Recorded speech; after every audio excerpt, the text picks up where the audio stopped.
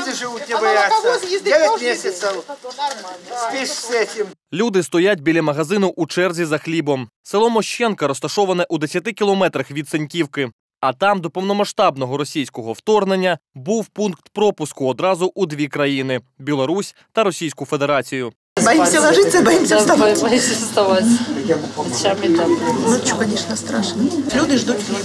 Це скільки вже? Час дня, а хліба нема. Бо бояться, що взагалі можуть не привезти. Все може бути, правда?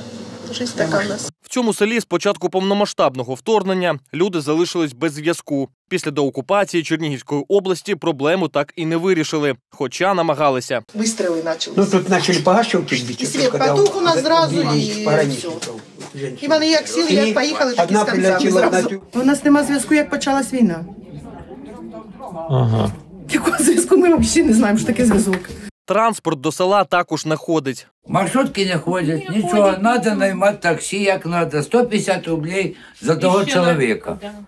От на- чотири зібрали, наняли, поїхали. От це так.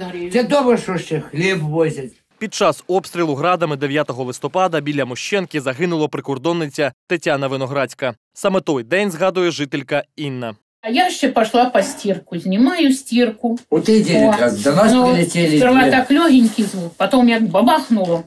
О, а я стирку знімаю. Я зразу, господи, помилуй, кажу. В це село евакуювалися деякі жителі прикордонної Сенківки.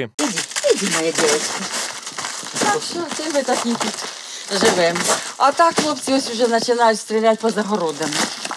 Ось буквально тут 10 днів за загородом тут взрив, отам по селу взрив. Ми боїмося теж тут. Звідти втікала, а ще й сюди достали. Катерина тікала від обстрілу Сенківки з козою та собакою. Я вела велосипед, а вони за мною бігли. А там перед тим так в Сіньковці пуляли. Ми з козою, я, собака і коза лежали в сараї. Я лежала від стіни, от, соба- коза отут, а собака отут. Вони за мене заховалися.